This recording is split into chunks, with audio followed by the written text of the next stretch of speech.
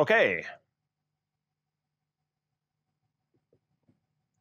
So we touched on this just before the break, and we've seen this um, during a number of other slides throughout the week. But this version includes a couple of subtle differences.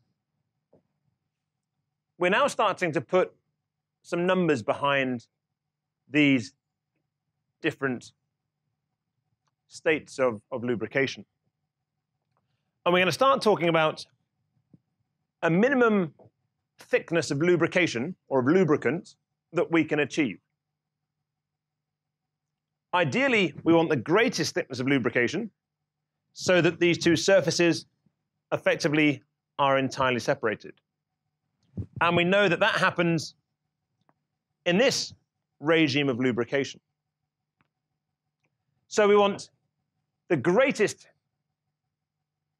film thickness possible, but that clearly has to be in some way relative to the roughness of the surface, i.e. that you can have a, a one millimeter thick layer of lubricant, but if your average surface roughness is three millimeters, then you're not going to be in this state of lubrication. That's to say that you want the film thickness to be thicker than the roughness to give you a chance of having fluid film lubrication. Because we're dealing here with the mean roughness and not the maximum roughness, because it's the mean roughness, then when you get unity between the two, that doesn't necessarily mean that you have extended into fluid film lubrication. So at any number less than 1, we know that the mean roughness is going to be greater than the film thickness. So we're going to be in boundary lubrication. Our lambda ratio, if it's less than 1, means that we're in boundary lubrication. If our lambda ratio is greater than 1, then because we're dealing with a, a mean roughness and not the most severe case of roughness, then we enter this likelihood of mixed lubrication. And indeed, between 1 and 3 as a lambda ratio, you get to mixed lubrication. Greater than 3, we're confident that the surfaces are totally separated, and so we enter this region of hydrodynamic lubrication. So suddenly, we've got some numbers to be driving towards. That as engineers, we want this ratio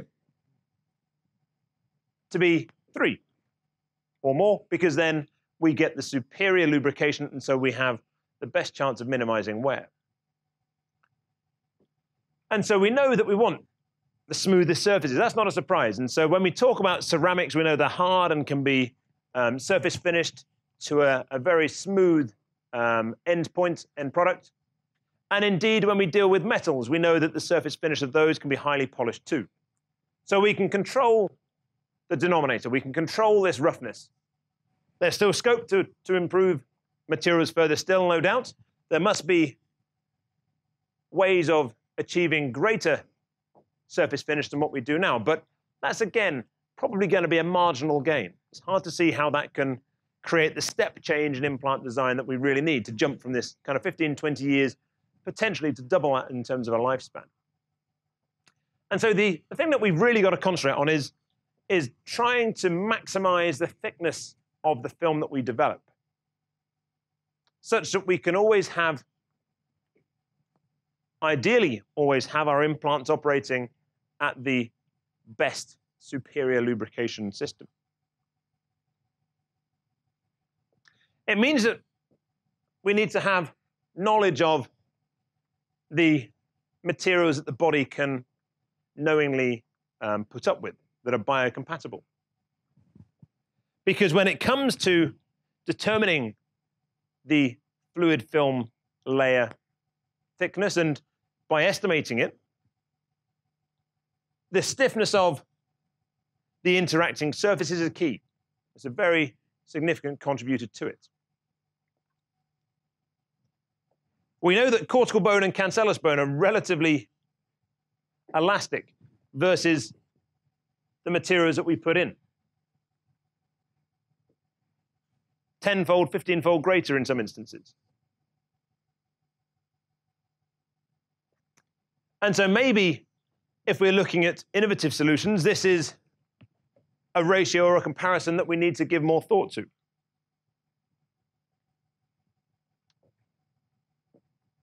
There's only one real polymer that's used throughout bearing surface and, and replacement surface design at the minute. Cross-linked ultra-high molecular weight polyethylene is a bit stiffer than that, but generally we're in that kind of ballpark in terms of the materials that we're using today. Metals, again, a very narrow band of metals that we can really use. 316L is typically the stainless steel that's used. Ceramics, a handful of those are used, alumina and zirconia. They're harder. And you can get, at times, a better surface finish too. And you can get a far tighter clearance with ceramic on ceramic than you can do with any of the other material combinations. And so this is the kind of information that, that engineers have on hand. None of these are surprise. It's not revolutionary, any of that, that data. But how do we use it? Here we've got the picture from earlier. So we have a cup, and the hip femoral head fits within that cup. Not everyone can see it, but there's a, a red circle that is the radius of the acetabulum cup. The black circle mimics the radius of the femoral head. In essence, we're calling the acetabulum cup the hip, uh, sphere 2, the femoral head, sphere 1. And here we have an equation that defines the film thickness in elastohydrodynamic lubrication. This has been around since the 70s. Hamrock and Dowson proposed this specifically to try and resolve the conundrum that is synovial joint replacement. Dowson has spent decades of his career looking to try and find solutions to this, this problem. And so our film thickness which remember we divide by mean roughness to create our lambda ratio, is defined by the synovial fluid viscosity times the speed within the joint divided by a combination of the two material stiffnesses, Young's moduli, and the radius. To the power of 0.65 times by the load going through the joint over this.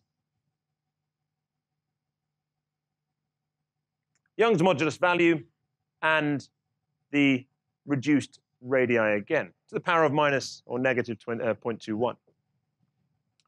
And so that's the equation that Hamrock and Dowson have proposed to, to use.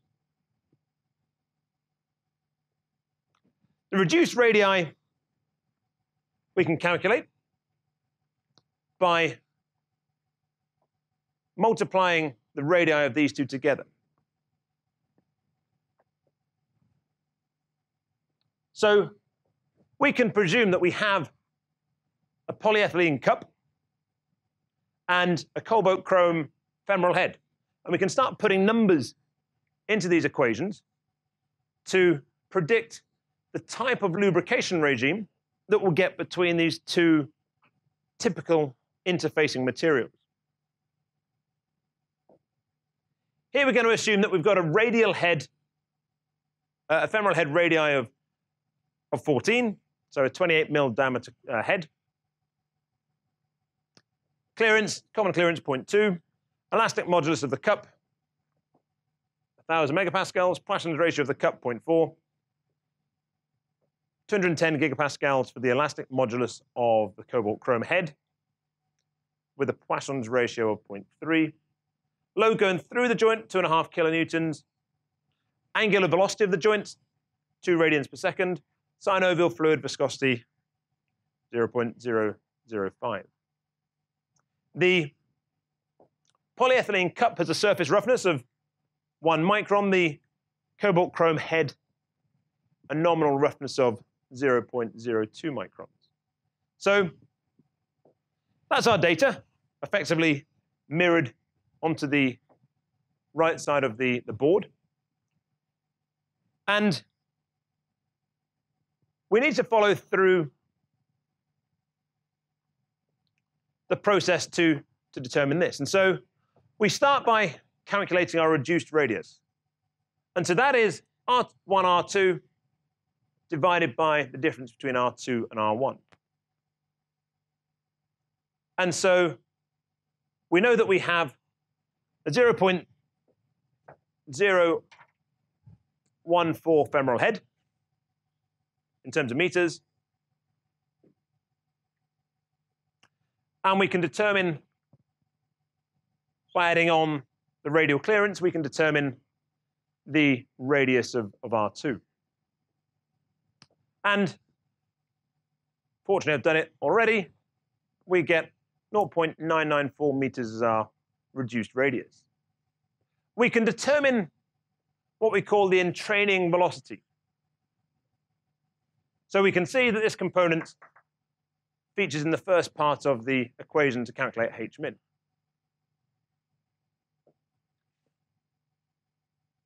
The cup doesn't move, so we can call that zero as a velocity.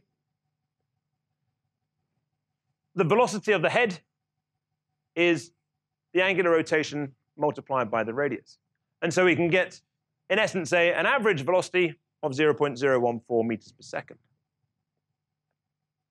We then need our equivalent Young's modulus, which is calculated by involving the Poisson's ratio and the Young's modulus of each material. And we get that to be 2.3 gigapascals. So we know our viscosity. We now know our velocity. We've got our equivalent Young's modulus. We know the radius. We know the load. And so we can start looking at h min. And so h min, put our numbers into there, gives us 8 times 10 to the 8 meters. And so that's our layer thickness. We've got a very, very thin layer of lubricant that generates between a cobalt chrome, uh, chrome cup and a polyethylene head. The only way we're going to determine whether we're in boundary mixed or fluid film lubrication is to appreciate whether this thickness or the relative thickness of this versus the surface roughness of the two materials. So we get our composite roughness by the square root of RA1, so it's the roughness, a measure of roughness of surface 1 and surface 2. So the average of the two of them, 1 by 10 to the 6 meters. And so dividing one by the other, we get a lambda ratio for this interaction of 0.08. So we come straight back to our Stribeck curve, and we see that cobalt chrome versus polyethylene gives us a boundary lubrication system only. And so this equation is quite powerful in terms of evaluating the potential of new materials. Clearly, once you've done it once, there's only so many parameters that as an engineer you can actually change. So you can look at different femoral head sizes, the load, um, how do you reduce the load going through it? That's down to um, clinicians' discussion with the patient. The RA, there will be some opportunity to reduce the RA as new uh, finishing techniques come on the market, but again, you find it hard to see how even a dramatic change in RA is going to overly influence the type of lubrication that you can generate. Viscosity, that's fixed. That's the synovial fluid viscosity. You can influence the velocity by having different radial sizes. But in terms of the step change that we can introduce from engineering, these are our parameters, but there aren't all that many that we can influence substantially these days. There, there, are only marginal gains, one imagines, that can be made against each of those that are in some way within the grasp of an engineer.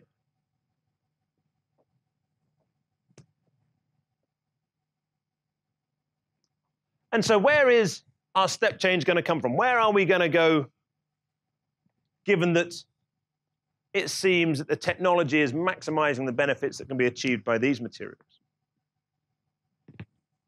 Maybe it's this.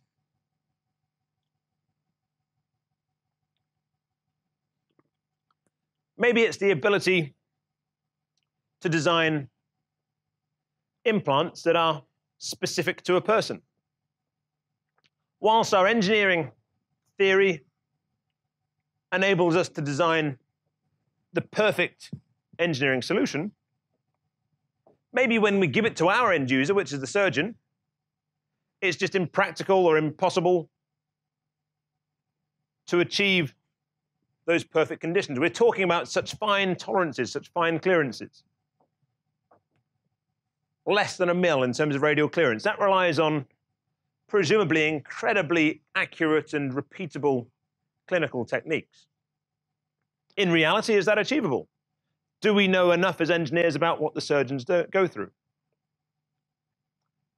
Merely observing an operation and the fact that hammers and mallets are involved would indicate that that's not necessarily an industry that's going to be able to achieve the tolerances that we're after. You wouldn't ask a carpenter to make a cut such that your door was swinging with a clearance of 0.2 millimeters from the floor. That's just totally improbable. And so why do we expect surgeons to be able to quite literally operate within those constraints? Maybe we need to ditch all that and start by designing implants that are specific to the shape of our body. And then apply that theory afterwards, secondarily, and thus create more opportunities for success.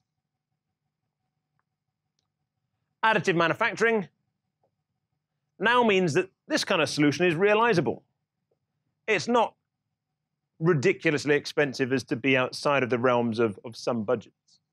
It's still vastly more expensive than a typical casting process to get our current orthopedic implants, but like every technology, it's quite conceivable that that price will reduce um, considerably over time. And so patient-specific implants currently are predominantly used where anatomy is, is far more complex than average. So here we would see an example of a pelvis, and normally our cup is screwed into bone that sits immediately behind it. Here, for one reason or another, there is no bone. That's a void of bone within the pelvis. And so turning up with your standard cup and a couple of screws is going to be totally worthless because there's nothing to screw into. And so we can take CT data and effectively design a space filler with a cup embedded in it. And so that's where current patient-specific implantation is being exploited at the minute. So a surgeon will gather the CT, the MRI images, and in this example, which is taken from the Baltic Implants website, here our surgeon would, of course, email that to, to Ortho Baltic. They would use software to generate a CAD reconstruction, 3D CAD reconstruction of, in this instance, a pelvis. And then the part that engineers are most familiar with, they would effectively design a new component that fits within the void of that patient's hip. They would then go through FEA. They would look for the usual peak stress and strain fields, And when they got to a stage where they were happy with the design, that would go back to the surgeon for approval. The surgeon would say, yep, that is going to function, or that design is a design that, that I can reasonably implant. So when the, the concept is approved, it then becomes reality. It's 3D printed. So that concept is 3D printed. Goes through quality control, sterilization, and then sent off to be implanted in theatre. And this is a process that's happening now. Happens all the time in a small number of cases. Happens for orthopedics, it happens in maxillofacial surgery in the, the face as well. And it provides opportunity to fix these more complex cases. Here we have a knee, and we can see how the segmentation process works. And so we have clinical images of a femur. Software defines in 2D the outline of that femur, and then sequentially does that to, to the other images, and then stacks those images with a prescribed slide thickness together. And it effectively interpolates between the data on one slide and the neighboring slide and so on, renders an image that is quite believable. Here we see the patella as well, the kneecap, um, the fibula, uh, and the tibia as well. And so we can visually get a good appreciation as to exactly what happens. And so here you would have a traditional knee, and we need to be sensitive. These are commercial pictures, and so it would be reasonable to presume that these are relatively extreme cases. But it gives you an appreciation of the cuts that a surgeon has to make. Has to cut the anterior surface um, of the, the, uh, the anterior articulating cartilage surface away and cut underneath and behind to enable a conventional total knee replacement to be fitted in place. Sits on top of the metallic tray and our perspex, uh, our polyethylene liner. And there are issues.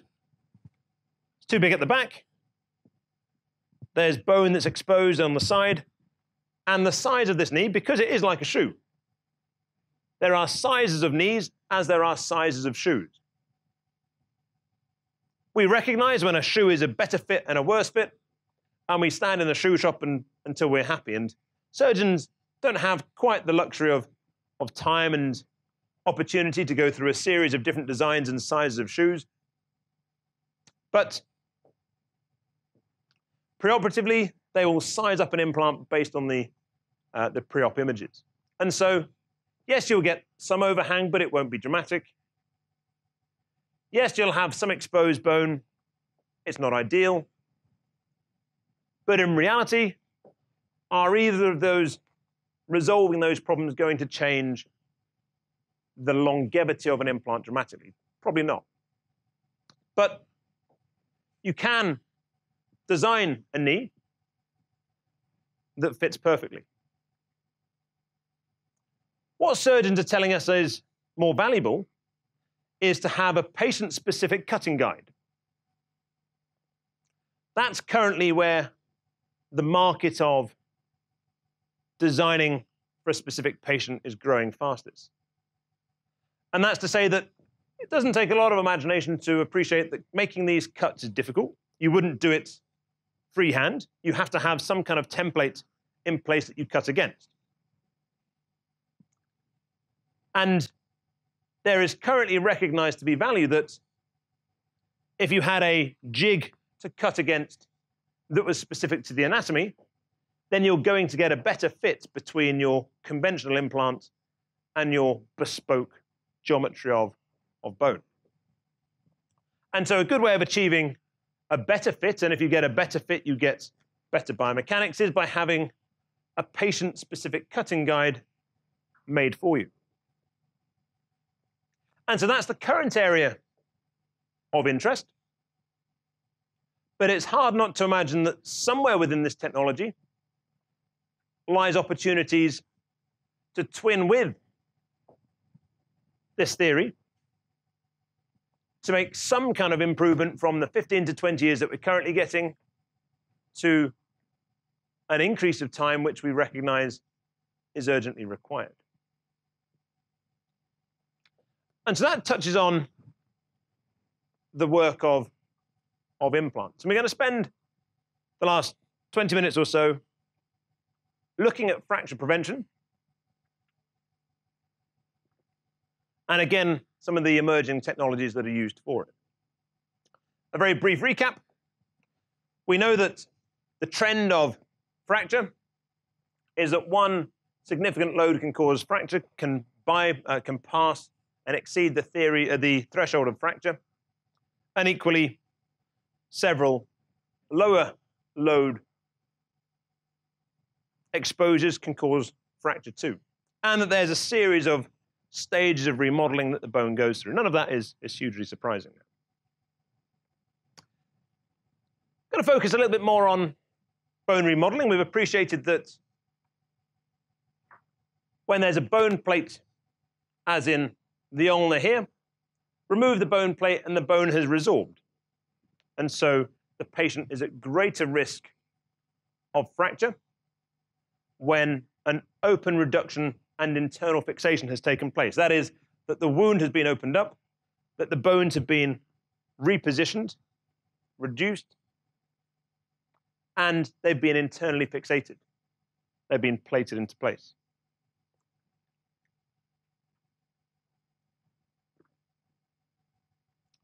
So bone remodeling actually follows this kind of trend. This is the, the trend that we're most interested in. And that's to say that if you have no movement, so this x-axis here is strain. If you have no movement at all, there's no strain, then you don't encourage bone formation. You're not on the other side of the x-axis. So it's recognized that bones need some strain to repair. And there comes a point where you get to an optimal amount of strain that achieves maximal bone formation. Have too much, it starts to fall away and it starts to resorb again. So bone remodeling is known to have an optimal amount of strain to achieve maximal bone formation. Focusing in on this region here gives us a plot that looks something like this. And so Wolff's law is that as we increase the strain, we get to a stage where we're within a region of strain that achieves healing. we need to be careful that we don't have, that whilst we want to encourage strain, we don't necessarily want to encourage the fragments of a fracture to move relative to one another. And so the two are, to a certain extent, competing. There's no point having strain, yet one part is moving relative to another. And as you're probably aware, given the work that you've done here, there are various FE models that exist that enable us to predict bone remodeling based on the strains experienced within the bone uh, when implanted with a femoral stem. But this all hinges on periprosthetic fracture. So we've spoken about periprosthetic fracture previously, and so we're considering the risk of fracture at the base of or along the length of an implant. And so we've talked about the stress shielding in the ulnar plate and the risk of stress shielding happening at either end of the plate because you have this transition from a stiff plate to a relatively flexible bone. If we consider again our hip,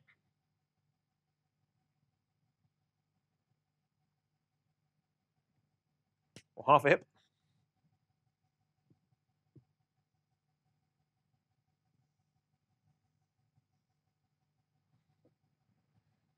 So we consider our hip Periprosthetic fractures are so prevalent that a classification system of them exists. And so you don't just get a periprosthetic fracture, you have a classification of periprosthetic fractures that exist. And so here's our healthy hip. We're talking about removing the healthy hip.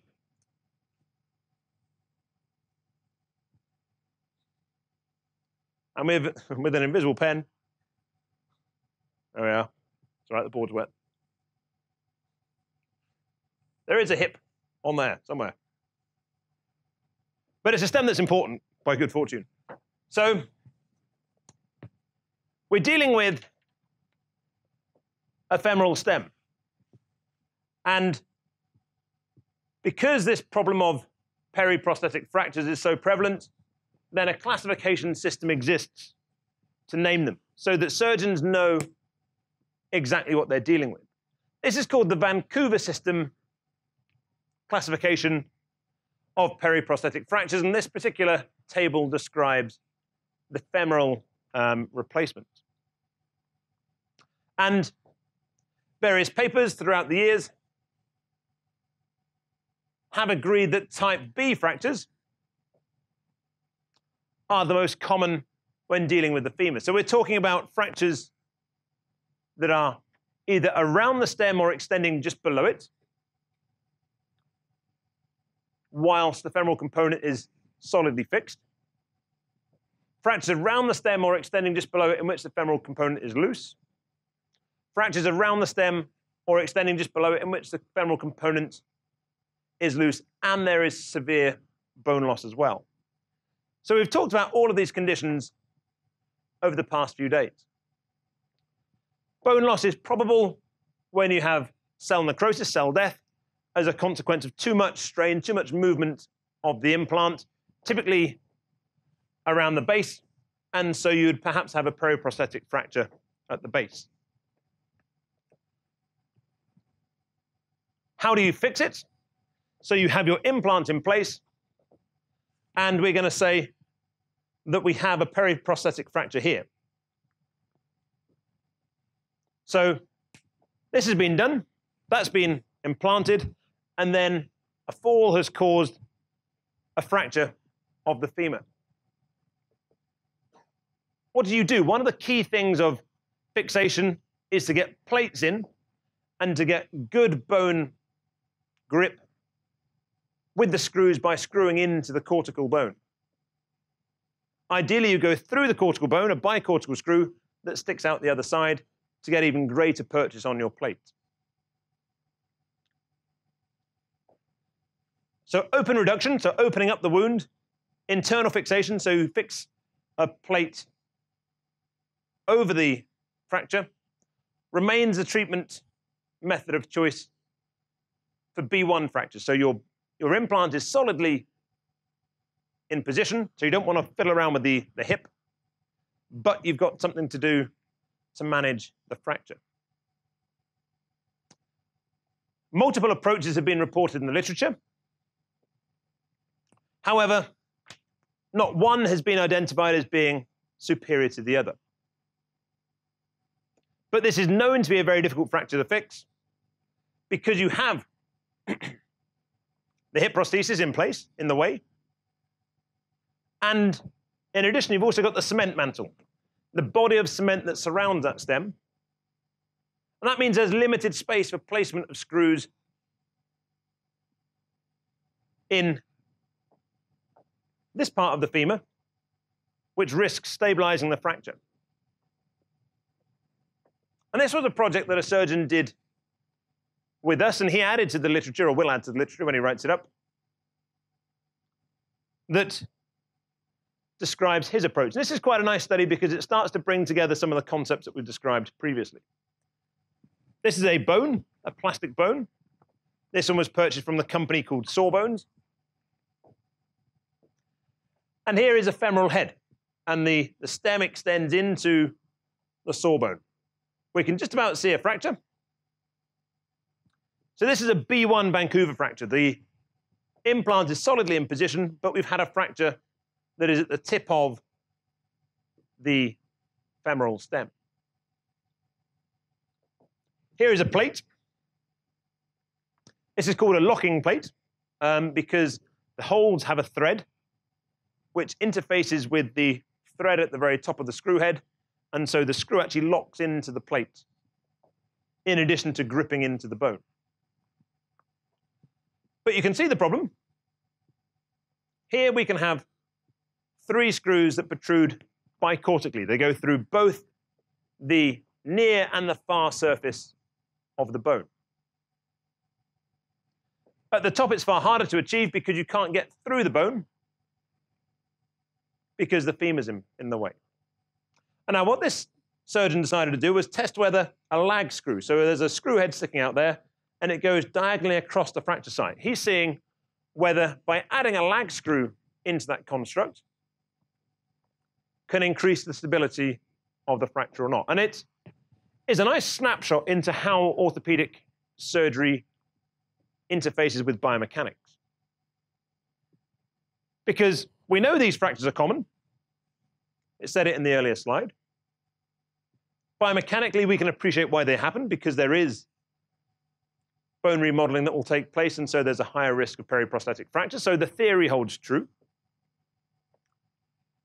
And yet, we're in a position whereby there isn't a gold standard approach to fixing it. The question here was does a lag screw increase the stiffness of the construct? Then the question thereafter would be is that replicated in the human body? And if so, does the strain that it's constraining place it within that optimal range of bone growth? So this is clearly a lab-based study. That's had limitations that we've touched on earlier. But this is one way of deriving fundamental data that can drive forward the subject. But unlike mechanical engineering studies, we can't presume that if this happens in the lab, then it's 99% certain to happen in our applied environment. Our applied environment is clearly a lot different to what we're doing here. And, and here you see our bone. We've inverted it. So the femoral head is now down here. And the condyles are wedged in this machine. You can see that this is a white spray with black dots. And so this is the DIC that we were talking about, where we have lots of dots on the bone, and we have a camera. So on the outside of the bone, we have this random speckle pattern. We have two cameras. One's measuring what's happening over here, one's measuring what's happening here. And we can see visually the relative change in displacement of those dots. Those dots on the surface will clearly move as the, as the material strains. And then you plug it into software that picks up that data. Here with a, a bit of reassurance, hopefully you'll believe me that we have our bone construction here, still upside down. There's the white paint. And then we have a camera. So this rod effectively is a, a tripod for two cameras one of which is mounted here, one of which is mounted here. And there are two lamps just out of sight that are giving off um, light to illuminate that. And so we're hoping to measure the difference in the displacement of effectively these black dust particles to give us a measure of strain at that interface.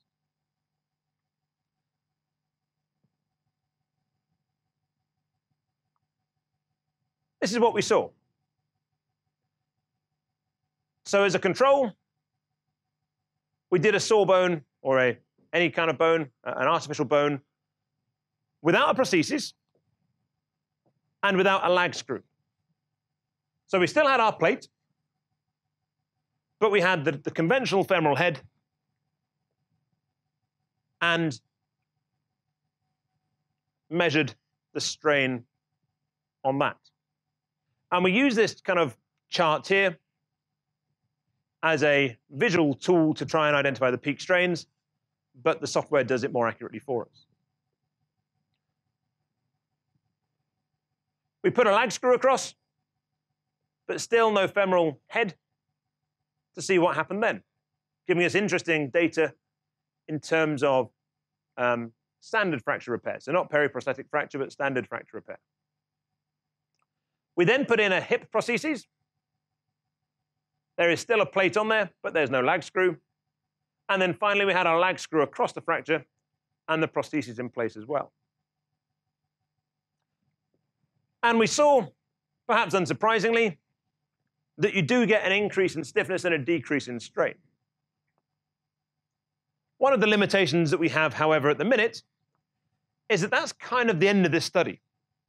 There is no, no, I wouldn't say easy route, but no efficient route of trying to explore the consequence or the application of this work in a more realistic environment.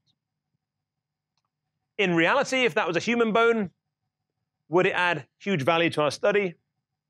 Not really. By the time you've got it in a lab, it's still going to dry out and it's still going to be in some way removed from reality. And yet there is potential that results such as these, and not just these, can be transformative in terms of how patients are, are treated. But the challenge is how do you get from lab-based studies for this and for our femoral replacements to translate that data into clinical practice. A couple of final slides. This is another one looking at stress shielding. We know the problem of stress shielding, that the ends of the, of the, the plates are too stiff. There's not a gradual reduction in stiffness and so at the end of this plate, you have a cliff edge of stiffness going from a very stiff metallic structure back to the relatively soft and flexible bone. In this study, we decided to explore whether additive manufacturing would give us the opportunity to create the geometries, but to have increasing porosity within those components. So you would have the correct stiffness centrally, but a decreasing density or increasing porosity of metal as you move towards the lateral edges, such that the interface between the bone and the plate isn't as stark. And so if we consider number five to be fully dense, number one to be less dense, or minimal density, then these four, four plates were additively manufactured out of metal. That's our clinically used um, plate currently.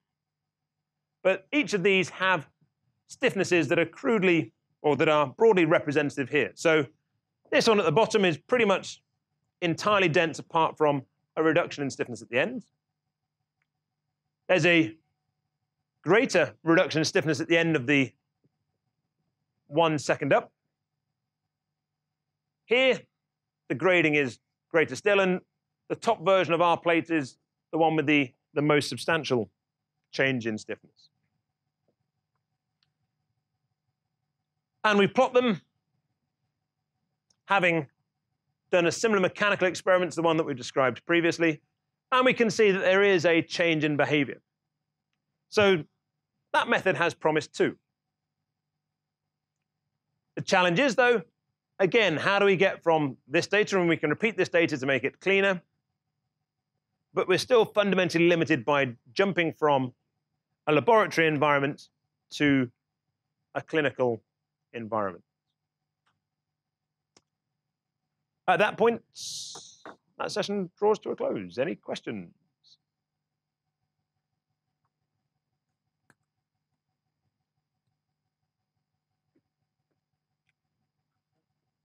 Hello. Yes. Are they? Yes, they are. Um, yes, we were trying to explore an idea using magnesium. So magnesium is probably the only metal that can be um, en masse absorbed by the body. Um, and you're right to say that, that whilst we can play around with graded structures, fundamentally these things cause problems. That they cause problems because they will weaken the bone. The, the challenge clinically is, is the risk of another surgery to take that plate out when the bone is healed worth the risk versus the potential of the plate remaining in place and causing injury. In children, the plate's got to come out because it will stunt bone growth. In adults, it can probably stay in. In elite sports, it probably has to come out. Um, and so that's the problem at the minute. Ideally, it should come out from, for everybody. But it's generally considered that the cost and the risk of taking them out isn't worth it versus the risk of it staying in. But that means that there is scope for um, plates that effectively resorb and so become weaker over time to the point where there's nothing left of them, and so there is no risk. Um, and there are some bone plates that, that do exist, but they're not widely used. Um, and so we were and continue to explore the, the concept of using magnesium because it uh, effectively degrades and, be, uh, and, is resolved by the body without problem. Um, the issue that we have is that additively manufacturing a magnesium plate is very difficult because it's uh, a very um, volatile material to work with. Um, but again, that's a research opportunity that currently seems um, to exist. Um, one of the challenges here is that manufacturing these plates is relatively cheap. And so economically, you're going to have to come up with a solution that fits within in essence, the business model that exists clinically at the minute. The reason that they don't take them out is not only the risk to the patient, but also there's a significant cost involved in, in doing that operation. Um, in the UK, the system is slightly different, whereby the government pays for all surgery. Clearly, here the system is, uh, is a different system, but the UK government don't prioritize removal of those plates. There are more important things to spend that budget on in, in their eyes, um, unless you are someone who would be at higher risk of injury if it were to stay in. So it's certainly an area that remains to be explored uh, in detail, resorbable plates.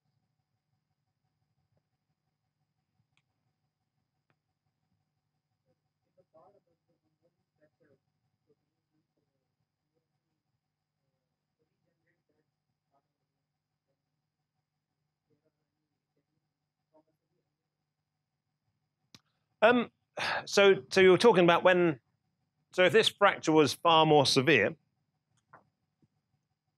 so if effectively we've lost this section of bone, is that what you're saying?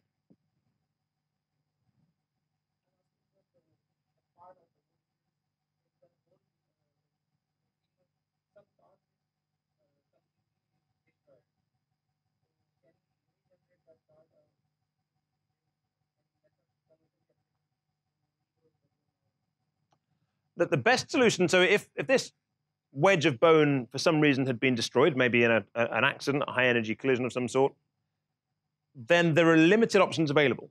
Uh, it's not as if you can replace that with a Perspex wedge, for example. So typical engineering, engineering materials are out the question. Um, you, can't buy bone um, because the compatibility of someone else's bone or an animal's bone is very difficult. So you're effectively left with two choices. You can try and take a bone graft from somewhere else, and put it in.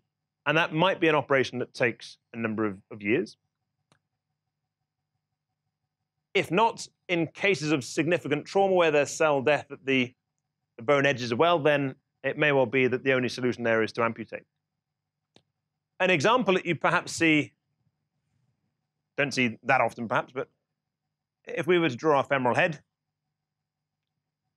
and whereas our conventional femur would be relatively straight, you do see occasions where the femur is, is curved. And so here what will happen is that the bone will be cut intentionally. Wires will be fed through the bone. They'll be fixed onto a circular frame externally, connected with rods. So effectively, you end up with a mechanical construction outside of the leg that is forcing the bone into a new shape. But as a consequence of that, you have gaps in, in your bone, as you would expect.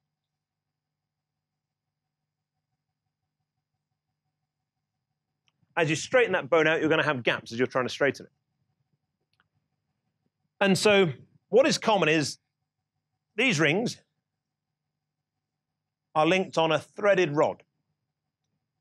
And the patient will be sent away with a spanner, and they would have to twist the nut that's supporting the relative position of each of these rods by about a quarter of a turn per day. And so you're gradually extending the gap between the bone. But what's happening at the same time is that the bone is slowly starting to regrow. And so these gaps are being filled naturally by the body. But the aim of this is to get this leg back to the length of the original leg. And so you want to keep making a quarter turn per day of these nuts until the, the spaces are at a point where you have a length of leg on, on the injured leg that's the same as the other leg. And so where you have time and have the ability to plan, then you can encourage bone to regrow and can control that regrowth. If you're dealing with a traumatic accident where there's been substantial bone loss, then you haven't got that ability to be as controlled and as planned. And this can only work where the gap between the bone is relatively small. If you lose a substantial amount of bone, then there is no mechanism for the bone edges to communicate with each other. They're too far apart, and so you won't get that bone regrowth. And so there's no off-the-shelf commercial solution you can use to fill that space. And ultimately, putting it crudely, the only real solution is to, to resect um, or amputate the bone itself.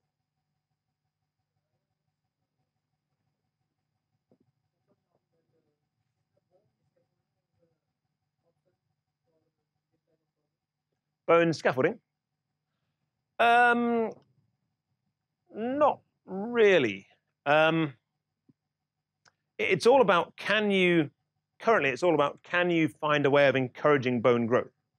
And so you could have um, metallic scaffolds that are used to encourage bone growth. But again, that would be something that would be a planned intervention as opposed to uh, something through trauma. So if you're dealing with a, an accident, a car accident where there's been a substantial bone loss, then currently there's no clever way as such of solving that problem. If you can't find some uh, bone from somewhere else in the body that you can perhaps use a bone graft, um, and that is, is not in any means likely to be um, or 100% successful, then you've got very few other options that are available. Here, where it's more of a planned surgery, an elective surgery, then um, using uh, kind of metal structures to encourage bone growth has been tried as well. Uh, and that's probably where the interface between tissue engineers who work in the kind of sciences field and engineers such as us that work on the, the boundary of medicine and engineering, um, that's probably where more fruitful gains will happen as we work more and more closely together.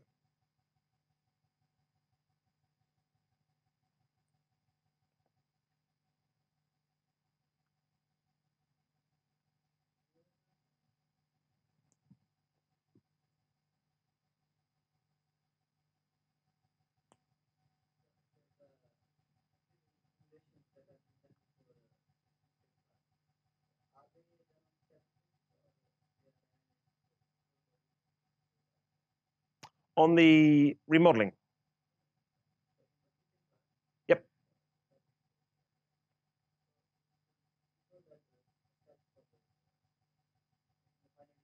Yes. Yep.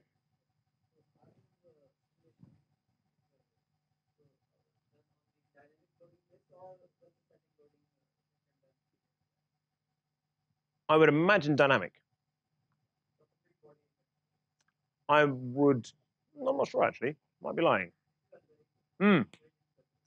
Yeah, I, mean, one of the things that is, from from my understanding, a bit of a grey area, but clearly not as grey as it as it may seem from the outside, is is FDA approval or, or the equivalent.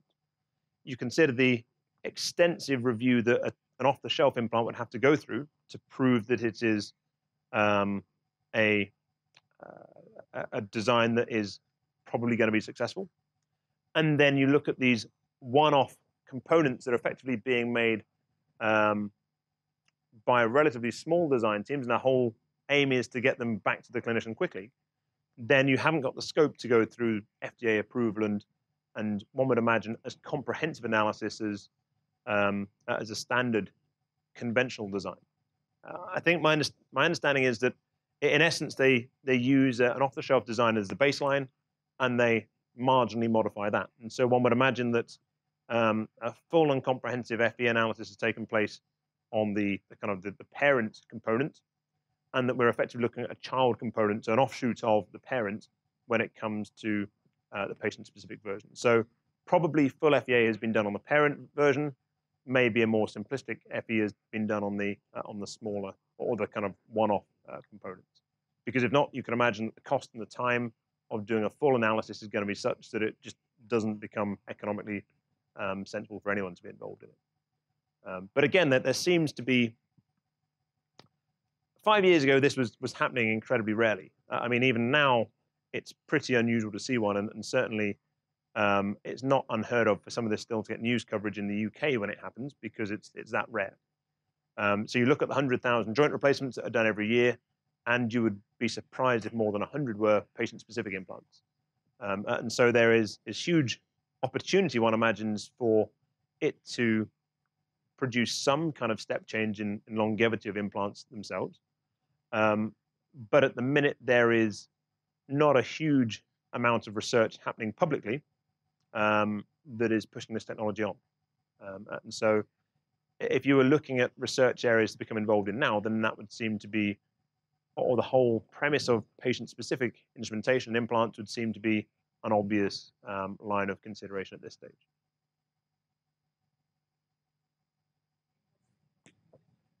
Hmm.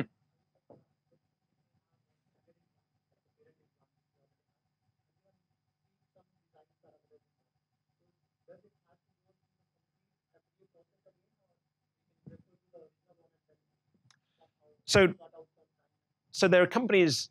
Um, it effectively comes down to the accuracy of, um, or the similarity of your design versus the original design.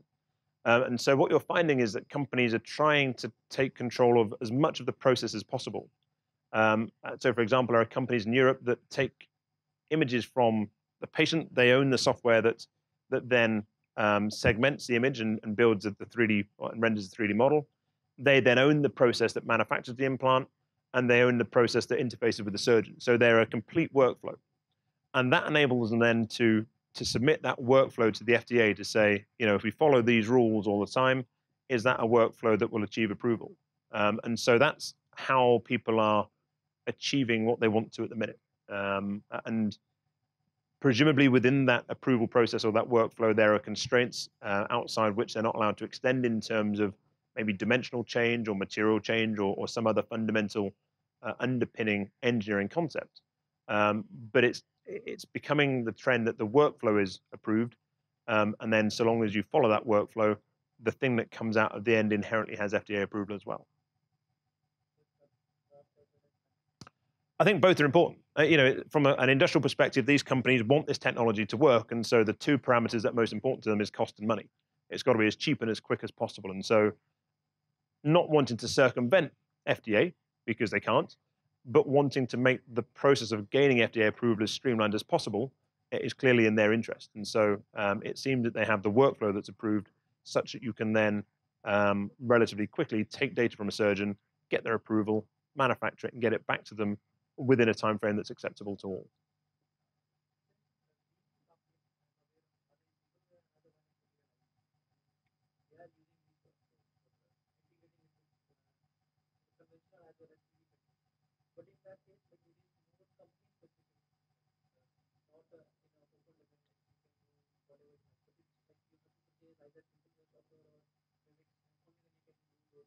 Ah, um, I shall avoid naming names, um, but companies, um, it's commercial interest to, if you own the workflow, you can then license that workflow to orthopedic companies. Um, and so if I was in a position of a company that owned an FDA approved workflow, then you would be a relatively, one would imagine you'd be a relatively attractive commodity to try and license that workflow to, to the, the orthopedic companies that we're all familiar with. Um, and so I think that is probably how the technology will evolve. Um, the reality is that the the cost at the minute is significantly greater than a standard off-the-shelf implant. Um, and so when certainly in the UK and the Western world, health budgets are, are limited, and, and, indeed I'm sure they are here as well. And so the the added cost has to give obvious clinical value. Um, and that's where I think the biomechanists and the, the bioengineers can can get involved more um, uh, more actively because the, the workflow is now there. It can be done. The technology enables the surface finish to be equivalent to a, an off-the-shelf implant, and so they they have a process in place that appears to add, or one would imagine, should add significant value to to an implant. The trouble is, no one's really quantified that value, um, and so hasn't given the uh, health funding bodies the uh, the need or the justification to spend two, three, four times the amount on a, a patient-specific version when you could get an off-the-shelf version for a lot cheaper. Um, and so there, there, seems a lot of opportunity for research in that. Uh, the minute it seems that even the jigs, the patient-specific jigs, um, remain um, uh, the scientific benefits of those remain unclear. Uh, and so if you think we're talking about a little cutting jig that you use once and throw away, and so they're relatively cheap, it's unclear whether the cost of that is worthwhile at the minute. And so if we can't make an argument that that has clinical value, then it's perhaps not hard to see how investing in an entire knee joint or a hip joint um, to try and convince someone that that has value uh, is even harder still. And so there seems to be a lot of interest and a lot of opportunity um, in that area that, that, that is yet to be explored.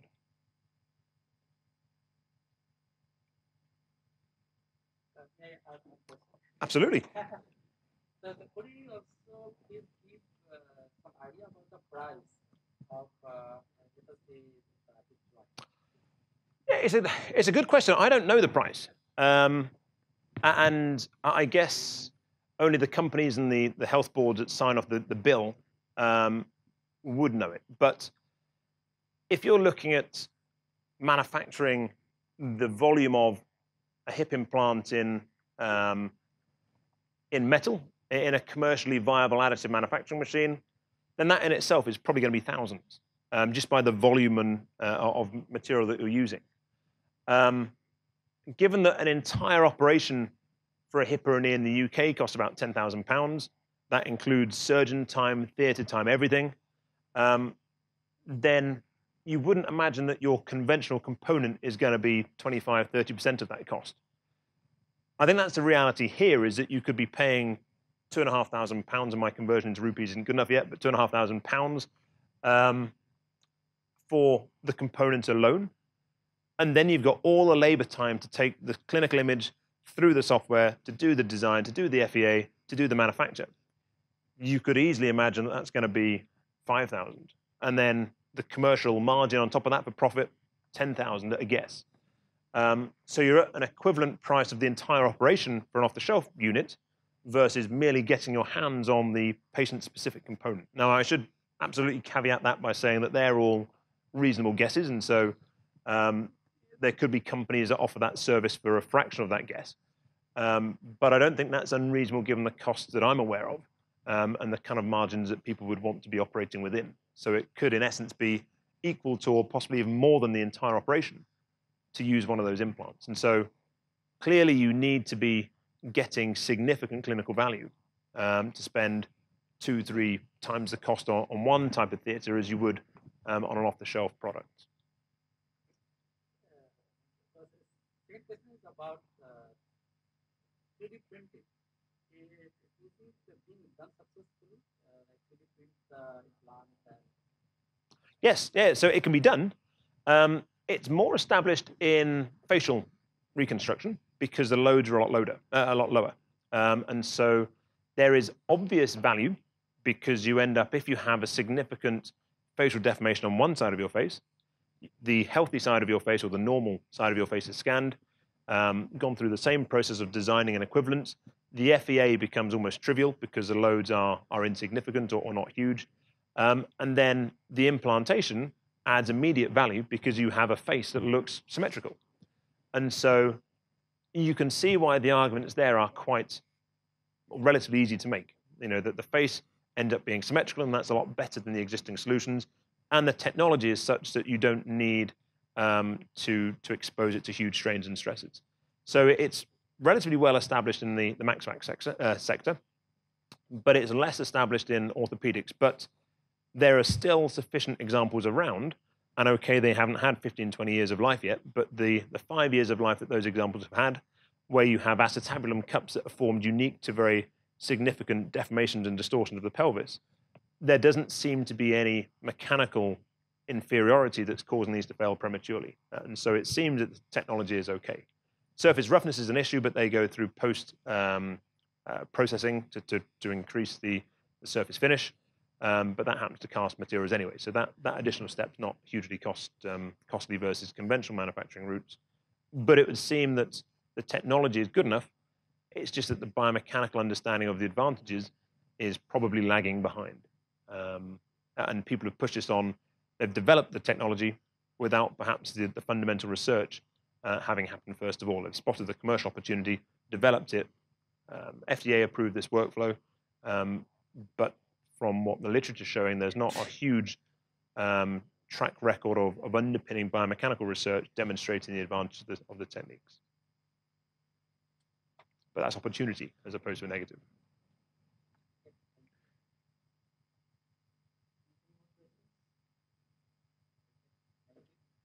Oh, yes.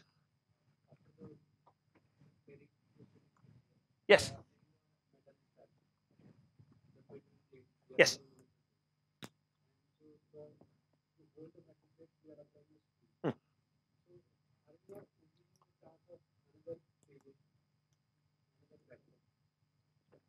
Absolutely, absolutely. I think the question that most surgeons would then ask is how else do we do it? Um, they have an immediate problem there. So that, that picture on the left, as he trips over an extension lead. So that picture on the left is a common example of what happens. You know, these Vancouver B, uh, B1 fractures um, are commonplace. Uh, and so that's the problem they're solved with, uh, that they're faced with. And undoubtedly adding more screws into even that bone there, which is a healthy bone. But if you imagine in a relatively elderly lady, this bone is weak because it's osteoporotic. It's weak because you've got a femoral stem in it.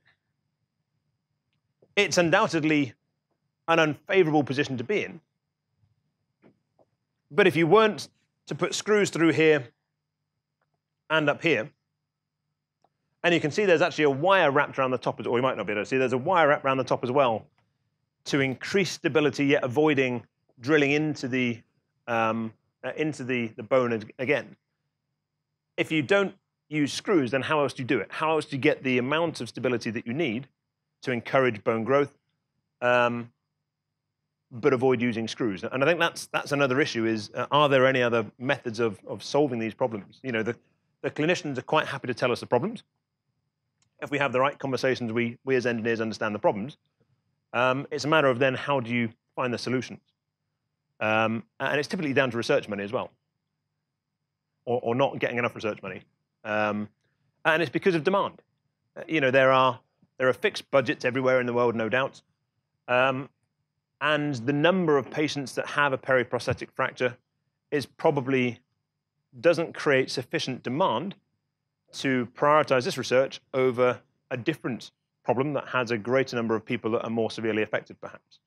Um, and so it comes down perhaps bizarrely, to um, small student-led projects that are trying gradually to generate more data to allow people to make a more informed decision. Um, and so you would imagine that these so problems could be solved very quickly if enough time and effort and money was thrown at it. But we're operating in a world where that those budgets aren't infinitely large, uh, and so there's only incremental progress that we can make. And that, that, doesn't matter whether you're here, whether you're in the UK, or whether you're, you're um, further afield still.